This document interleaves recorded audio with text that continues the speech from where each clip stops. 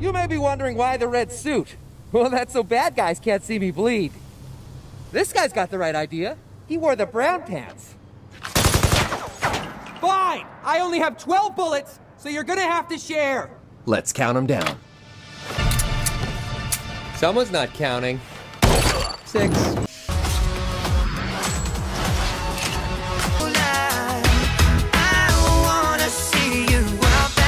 Baby, bye-bye